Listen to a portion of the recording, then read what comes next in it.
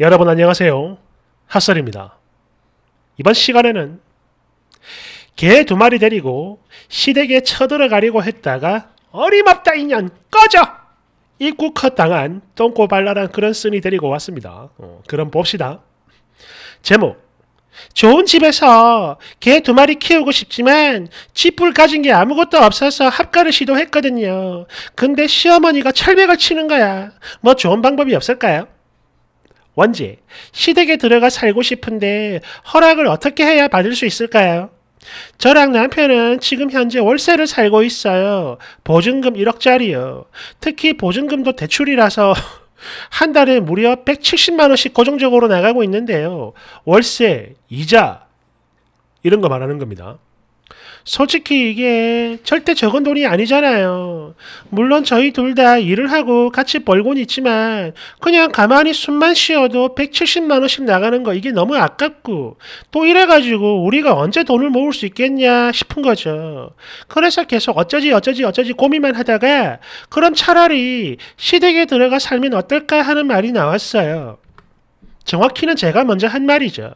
왜? 다른 며느리들은 모르겠지만 저는요 저희 시부모님이랑 같이 사는 거 전혀 거부감 없고요. 특히 저희 시댁 2층짜리 단독주택이라서 저희가 들어가 살게 되면 살림은 따르고 또 마당도 있으니까 살기 너무 좋거든요. 특히 어머님이랑 아버님은 1층만 쓰고 계세요. 2층은 비워져 있죠 원래 2층은 저희 남편이 옛날에 총각 때 통으로 자기 혼자 썼었대요. 그래서 어머님, 아버님, 저희가 거기 들어가 살고 싶어요. 이렇게 말씀을 드렸는데 아버님은 찬성을 하셨거든요. 그런데 에? 어머님은 반대를 하는 거예요. 아, 물론 며느리인 제가 싫어서 그런 건 아니고 다른 이유가 있는데 그러니까 음 저희 부부는 개 두 마리를 키우고 있거든요. 바로 이 부분이 문제라며 절대로 안 된다고 하세요. 참고로 한 마리는 제가 원래부터 키우던 강아지고 또 한 마리는 결혼 후에 새로 데려온 강아지입니다. 하나는 대형이고 또 한 마리는 작은 개예요. 소형. 여하튼 계속 죽어도 안 된다고 하시길래 어머님 그러면 저희가 1층이랑 2층 계단에 안전문을 설치해가지고 1층에는 절대 얼씬도 못하게 할게요. 그리고 위생 부분도 제가 더 많이 신경을 쓰겠습니다. 이렇게 말씀을 드렸지만 안 된다. 우리 집에 짐승은 절대로 드릴 수가 없다. 이러면서 단단히 못을 박으셨어요. 뭐 어머님이 뭐 개한테 물린 건 아닌데 그냥 개가 싫고 무섭다고 하세요.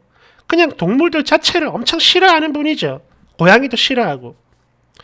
뭐 사실 그래요. 정 안 되면 그냥 친정에 들어가는 방법이 있긴 합니다.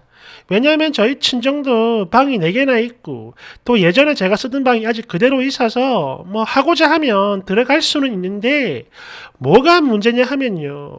친정에는 이미 고양이 3마리를 키우고 있거든요. 더군다나 여기가 단층이라 개랑 고양이들이 한 공간에 있어야 되는데 솔직히 이건 좀 무리라 생각이 드는 게 어쩌면 사고가 생길 수도 있고 어떻게든 시어머니를 설득하고 싶은데 뭐 좋은 방법 없을까요? 아니, 그렇잖아. 아무리 동물을 싫어해도 그렇지. 저희가 뭐 당신한테 돈을 달란 것도 아니고, 그저 조금만 양보하고 이해를 해주면 큰 돈이 굳는 건데, 왜 이런 생각은 안 하시는 걸까요? 저 정말 이해가 안 돼요. 그리고 제가 여기서 이런 말 하는 거 조금 그렇긴 한데, 보통 다른 시어머니들은 며느리랑 합가하는 거 되게 좋아하지 않나요? 그래서 저는 이번에 학과 이야기를 꺼냈을 때 저희 어머님도 당연히 찬성하고 좋아할 줄 알았거든요. 게다가 아버님도 좋아하고 남편도 좋아하고 다 좋다고 하는데 단번에 어, 안 돼, 꺼져! 이러시는 거 보고 깜짝 놀랐어요. 혹시 제가 모르는 또 다른 이유가 있는 걸까요? 여러분 의견 좀 말씀해 주세요. 댓글 1번. 합가하면 당연히 좋아할 줄 알았더니 미친. 야, 인생 말년에 어린 손주 들이 미는 것도 귀찮을 법한데 어디 감히 개 두 마리를 뒤밀어. 확 그냥. 2번. 아니, 상식적으로 생각을 해봐. 그 합가를 하게 되면 오직 니들만 돈 아끼고 니들만 살기 좋은 거잖아. 그럼 시어머니는 무슨 메리트가 있어가지고 같이 살아야 되냐? 어? 개털 날리고 냄새 나고 일만 많아지는 건데 뭐가 좋아? 대댓글. 음, 털 날리고 일만 많아지는 거면 차라리 다행이죠. 딱 보니 그래 저것들은 생활비도 한 푼 안 내고 완전 개 양아치처럼 빈대처럼 달라붙을 것 같은데요. 또 집에 마당이 어쩌고 저쩌고 하는 거 보니까 개 두 마리 거기에 풀어놓을 것 같고 그러니까 시어머니는 이 모든 걸 내다본 겁니다. 앞니를.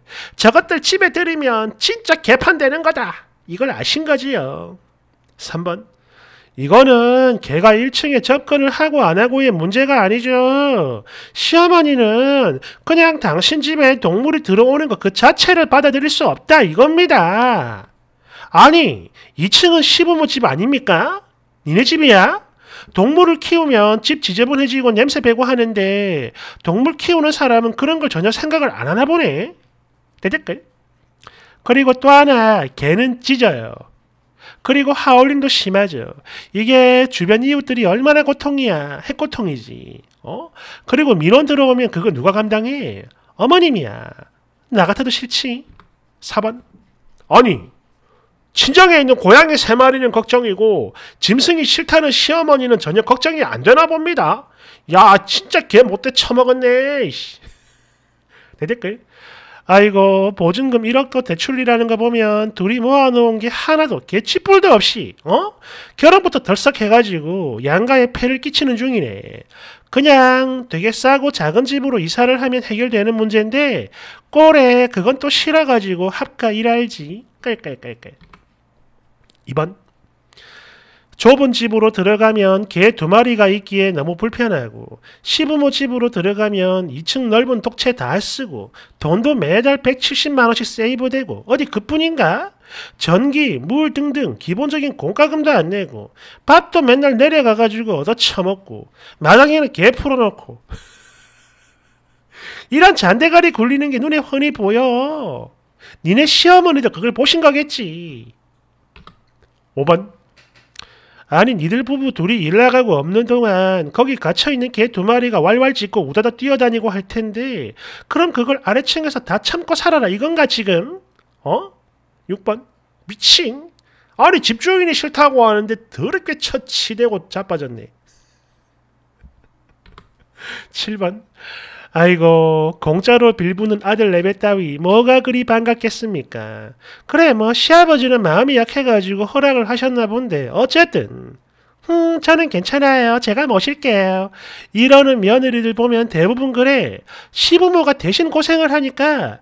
그러니까 본인들은 괜찮은 거야 편하고. 아니 다 떠나서 집주인이 싫다는데 왜 자꾸 쳐앵겨요? 좀 꺼지라고. 꺼져. 8번 근데 쓰니 친정에도 말을 하긴 했어요. 거기서는 뭐 좋다띠까? 글쎄 내가 보기엔 엄청 싫어할 것 같은데 아니 어린아이도 아니고 다 큰 성인들이 본인들 아까림도 제대로 못하면서 무슨 또 개는 두 마리씩이나 키워 어? 개 키울 여유 있으면 니네 대갈통 속에 들어있는 뇌나 좀 키우지 그래 9번 안전문 같은 소리하고 자빠졌네 야 그게 무슨 안전문이냐? 그냥 안전을 핑계로 시부모를 가두는 거지 1층에. 2층에는 아예 더 못하게 말이지? 내 말이 틀렸냐? 아니 왜 자기 집에서 그런 제약을 받아야 되는 거야? 어? 니들이 뭔데? 10번 공짜로 시부모 집 쓰면서 펫시터까지 하라고 하니까 늙음하게 손주도 아니고 개 시집살이 할 일, 어? 이걸 누가 좋아하겠어요? 나 같아도 입에 괴거품 몰고 반대하지. 그냥 친정에 들어가요. 출근할 때 방에 넣어놓고 거실은 아예 못 나가게 하면 사고 날 일 없잖아. 11번. 참 신기하지. 항상 그러네. 왜 꼭 이렇게 정신 나간 것들은 짐승을 포기 못하는 걸까? 그게 다른 인간들한테 피해를 주는 그 순간부터 주인인 자기들까지 똑같은 짐승이 되는 건데 왜 이걸 전혀 인식하지 못하지? 뭐야? 병인가? 12번. 맞벌이라며. 그럼 니들 출근 후에 그 개 두 마리는 누가 돌보냐? 이거 너무 뻔한데? 진짜 개 뻔뻔하고 핵노답이네. 끌끌끌끌. 13번. 아니 여기 댓글들 좀 너무한 거 아닌가요? 막말로 뭐 같은 층에서 살자는 것도 아니고 또 마당도 있는데 그러면 좀 너그럽게 봐줄 수 있는 거 아닌가? 남도 아니고 며느리고 아들인데 왜 그래? 대댓글. 마당이 있어도 마찬가지. 주인이 싫으면 그냥 끝이요. 어? 2번 저기요 니마 차라리 손바닥으로 하늘을 가리세요. 이거는요. 마당이 있고 없고를 떠나서 주 양육 보호자가 바뀌는 상황이라고요. 아 물론 지는 절대 아니라고 하겠죠. 근데 그게 그렇게 될 리가 없어. 불보듯 뻔하잖아. 하는 거 보면.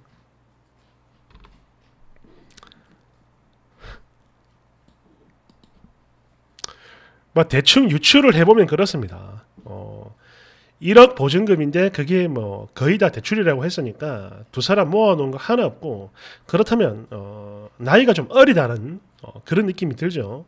그리고 애를 많이 먹인 거지. 어, 양가 부모가 반대를 한 거야.